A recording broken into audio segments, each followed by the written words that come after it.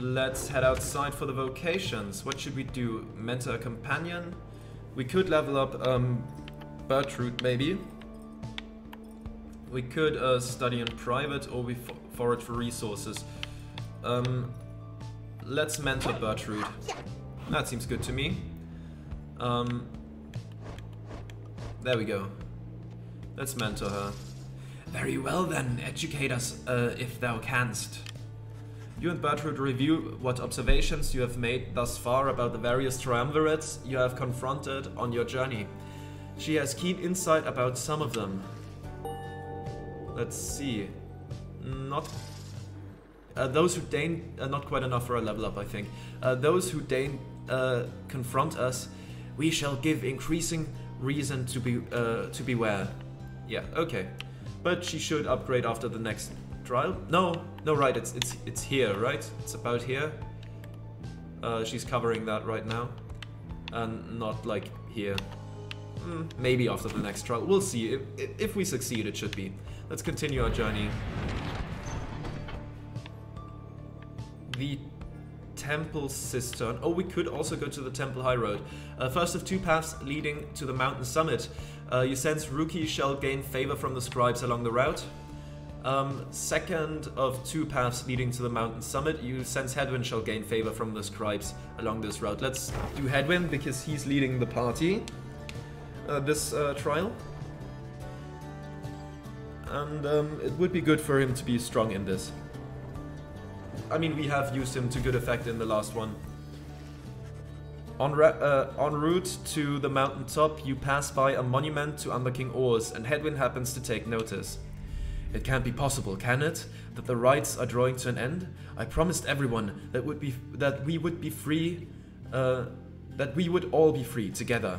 Please, I shouldn't have made that uh, a promise that I couldn't keep. I know that now, but please, just Please don't make me break that promise. Soon he has finished paying his respects. As, as you prepare to continue your ascent, you sense that Under King Ors has shown him favor. Plus 3 glory for the next ride, journey onward.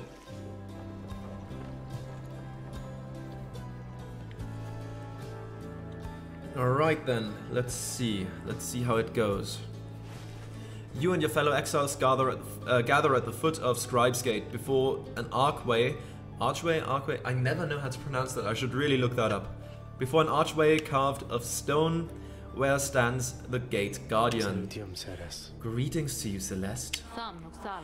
I see that the exiles of the Nightwings have returned, even as the cycle of the rites begins drawing to a close. The Nightwings accept this as will uh, as the will of the scribes. The Gate Guardian laughs at this softly for some reason. And you, Tariq? Do you accept uh, their will as well? but the lone minstrel does not answer her. It does not matter. Now, Nightwings, each of you come forth and state what it is that you seek whilst crossing Scribe's Gate. One by one, the Nightwings declare themselves. Uh, you all pass through as before. When Volfred takes his turn, Celeste stops him. You? I see you wear the raiments once again. Explain. The cycle of the rites is ending. While I do not know exactly why, I have my fears. One of my contemporaries, he who fell from the summit long ago, he lives and seeks his liberty again. He stands against us now and believes his triumvirate to be the true Nightwings. I remember well the contemporary whom you mean. Then the Nightwings stand divided. Yes, and so I wear the raiments once again, in case that it might uh, that it may help to right this wrong. For I am Volfred Sandalwood, and I seek liberty for each of us, so that one day we all might stand shoulder to shoulder on the other side and bring our freedom to the people there. You consider Volfred's words for a moment. I see. Then move along. The Guardian of Scribes Gate uh, regards you all and then beckons you onward. The eight scribes bid the Nightwings welcome. Uh, go forth with glory. Samea. Celeste. What is it, Tariq? The will of the scribes. Long have we both followed it. I think you would agree. In equal measure has it drawn us close as separated us. But if their aim is to keep us apart for another age or longer, then no. I do not accept their will. You blaspheme, Tariq. And at the gate, no less. But the lone minstrel simply puts his hat back on. Uh, then may the scribes themselves admonish me. Until tomorrow night, Celeste. Okay. Let's see then how this goes. Alright. Uh, having reached the peak of Mount Alodiel again, you see the vastness of the downside all around you. It leaves you deep in thought regarding which of your companions ought to go free this night, as Ti'zo did last time.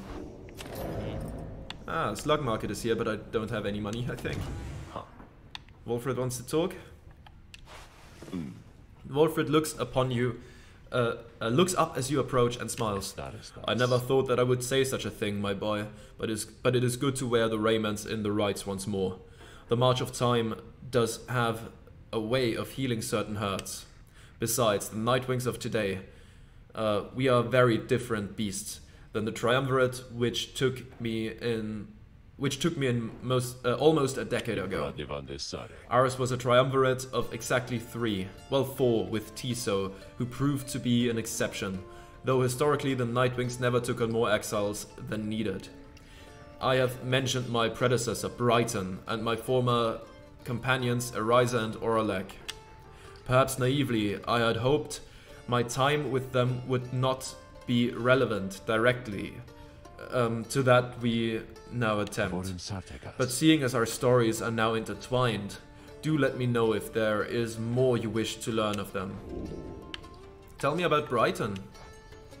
You inquire about Brighton, who you understand was liberated prior to when Volfred first joined the Nightwings. I never met Brighton in person, but I know him rather well uh, by now, though for that matter, my boy, so do you. He studies uh, your reaction for a moment, then... Um, Brighton was, uh, was born wealthy, but not special otherwise. You would have no reason uh, to have heard of him. He was exiled for negligent misconduct, uh, misconduct. I do not know exactly why, and do not care for spreading rumors. I first heard of him through Arisa and Oralech who found uh, in me a suitable replacement following his liberation. Um, they spoke of him. Orlek gave the impression they did not see eye to eye, but he assured me I soon would hear from him myself. Indeed, as I became accustomed to the book, which you know well by now, I soon began to hear the voice. Volfred looks at you as if to see if you yet take his meaning. You see, my boy, after Brighton's liberation, he assumed a new identity within the Commonwealth, and a new responsibility to the Triumvirate, which liberated him.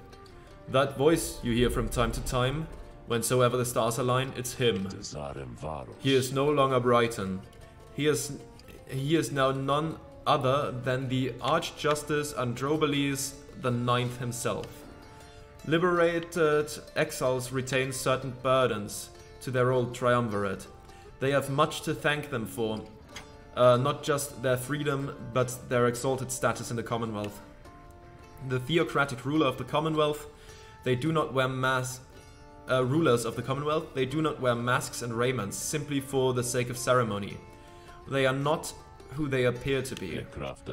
Um, their public past are nothing but a fabrication, like Brighton, they once were exiles too. Brighton, that voice. He had no love for either of us by now. He knows full well uh, what we attempt, uh, what we attempt to do. Yet he is bound by the traditions of the rites. He shall always stand on ceremony and complain, but I think he knows deep down that he is powerless. How ironic that one of such high status in the Commonwealth should be so frightened of some long forgotten exiles such as we. Uh, anyway, that's Brighton for you. Uh, we must have seen in you the uh, he must have seen in you the potential to be one of his uh, staunch supporters for a time. If that's a path you'd want to pursue, I should apologize. Now then, whom else uh, should we talk about? Let's talk about uh, Arisa. You ask about Arisa, um, who you understand betrayed Oralech at the moment of his liberation, but then perished in the Shimmer Pool. I'm afraid uh, you know the brunt of it, my boy. But I suppose you ought to know something of Arisa's past, lest you be quick to judge her solely by her actions. Mind you, I would never make excuse excuses for the terrible choice she ultimately made, but her life, I understand, was very difficult. Arisa had been uh, exiled for the foulest of acts. You could see it plainly branded on her face. Such was the heinousness of what she did in the eyes of the Commonwealth. She was um, an apprentice blacksmith in her youth, taking up the post left by her brother. He had fallen in battle on the blood border, despite wielding his father's own lance and armor. Her father never quite recovered after this, and had grown cruel and detached. It was Arisa who took the brunt of his fury. He expected the impossible of her. One day it was all too much for her. So when next he lashed out at her, she, well, she struck back. She struck back again and again and again. When they came for her, her father was gone and she was not herself. She was promptly cast into the downside for the crime uh, where he uh, where her hatred for the Commonwealth only grew. Arisa always was intense in her demeanor, haunted by her father's memory. More than that, uh, her chief motive for wanting back her freedom was, in hindsight, not a healthy one. She longed to join our nation's enemies to build, uh, to build for the High Wing remnants a great siege engine that could shatter the defenses of the Commonwealth and forever end our feud what she ultimately did to Oralech. It was an act of pure and thoughtless desperation. I do not think that it was simply evil, nor do I think it was personal. I often wondered, though, if in her final moments in the Shimmer Pool she understood what she had done, and uh, the depth to which she had fallen. Uh, for years, I must admit, I hated her, but now, my only hope is that she found uh, a peace untenable during her time, uh, during her relatively short life in the downside and the Commonwealth. Furthermore, I hope the life of Arisa offers some perspectives yet to those of us who have not made the same mistakes. Now then, uh, was there something else? Oralech. You ask about what Oralech was when he and Volfred first became acquainted. Volfred remained silent for a time. I was very, very sick, you know, when I first landed in the downside. The long, drip, uh, the long trip down the river must have been a little much for me. It was Oralech who found me. He could not have known of my capacity to read before he revived me. He was a physician, intolerant of the sight of suffering of any kind. Not just any physician, mind you, a gifted, highly decorated one.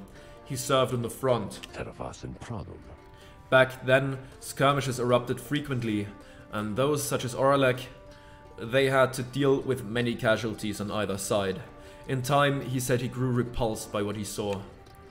Uh, this sowed in his heart a yearning for an end to all the bloodshed. So he tried to use his status to negotiate a treaty with the High Wing remnants. It must have gone about how you'd expect. He was given direct orders to return to the front, but when he refused to soil his hands again, they cast him to the downside. Here he gained the notice of the Nightwings, and before long he grew to be one of the finest rites conductors anyone has ever seen. He was instrumental in the liberation of his companions, whose role in the triumvirate were later filled by Arisa and me. In time, Oralech's own opportunity for freedom had come up. He longed for it, so that with uh, his exalted status, he may stand a better chance of, nego uh, of negotiating peace. However, on the evening of his liberation, well, you know the story from that point. Volfred breathes a heavy sigh.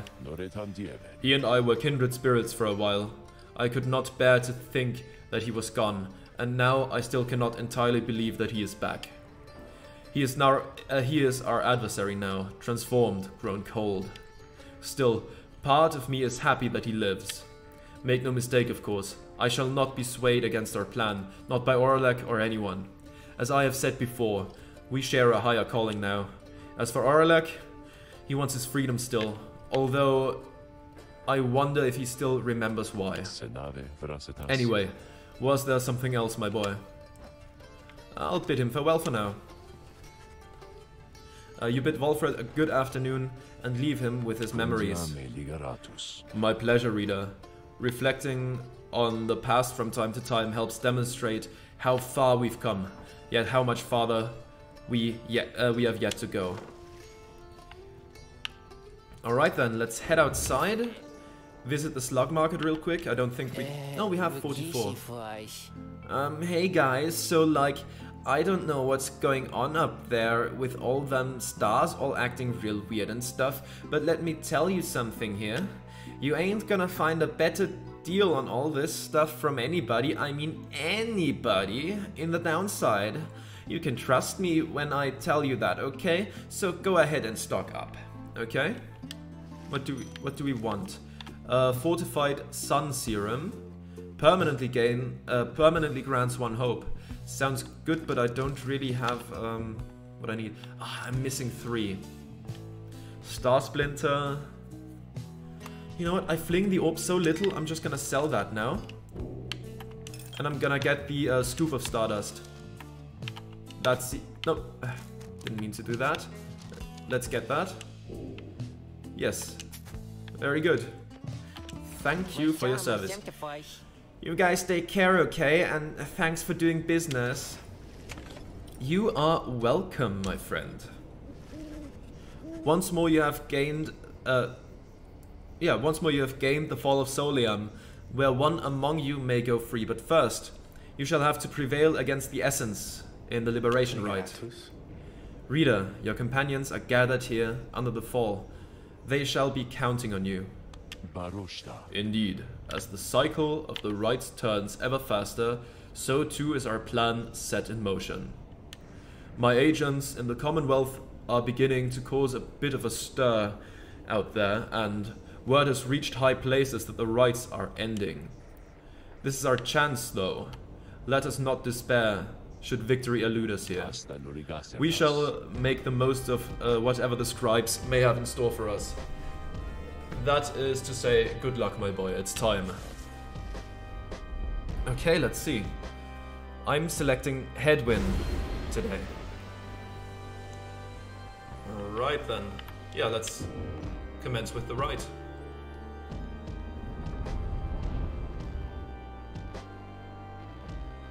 Let's see how it goes. I am a bit worried about the Essence, if I'm being honest. They have been rough. Once more, times. the Nightwings gain the summit of the sacred Mount Alodiel to conduct the Liberation Rite. Even as the stars themselves abandon you. Make Yes, good yes. upon these final opportunities, reader. This glorious age-old tradition coming to an end upon your watch. I trust your adversaries, the Essence, shall not throw away this chance. Choose Yeah. now who may go free, should they unfortunately fail. The pious burn in each of the triumvirates is present and prepared. I concur, the pious burn in each of the triumvirates is present and prepared. Then noxalis. anointed one of the essence, come forth now and declare yourself and pay any respects you have unto your adversaries the Nightwings. Tamitha swoops down from somewhere and unfastens her mask. I am known as Tamitha Vane. I mean to regain my ancestral home and promptly resume my responsibilities as flight tactician of the High Wing Remnants. Our long stalemate against the Commonwealth shall soon be ended, should I and several of my sisters manage to rejoin our clan. Then our vengeance shall be swift and thorough. Your quarrel with the con- your quarrel with the country that cast you into exile is beneath the notion of the scribes, Tamitha Vane. Here, you shall be judged under the stars. My quarry with the Commonwealth is all that gave me and my sisters st- uh, strength to reach this point. The scribes ought well take heed of how my people suffer. We are not weaklings anymore, like your Triesta Tifis. We shall not fall in line with uh, flightless fools and their naked attempts to subsume our heritage, our culture. Speak not again thus of the saint, or you shall be expelled, Tamitha Vane. Tamitha scoffs and turns her attention towards your side. And Nightwings, as for you, the fury we shall imminently show is nothing in comparison to the hatred growing for your commonwealth uh, in the mountains on the other side. She signals uh, to her sister to ready themselves. We seek, uh, you seek your freedom, but there shall be nothing save for devastation should you manage to return. Ash and Cold plus 25. Hmm. Nightwings, your decision on whose uh, on whose behalf you shall conduct the liberation rites. Liberatus. Reader, I would ask you to choose wisely, but I am sure you know no other way. And you? Prepare your song, Tariq. Of course, Celeste.